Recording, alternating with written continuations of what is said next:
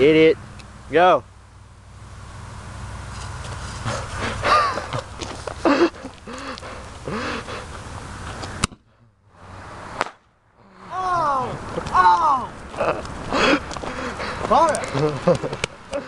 oh God, we're making this like jackass out here. Watch your language, boy. How's that? Like, as the fuse was going, I already felt burning on my chest. I was like, oh, this is gonna hurt. This is gonna hurt.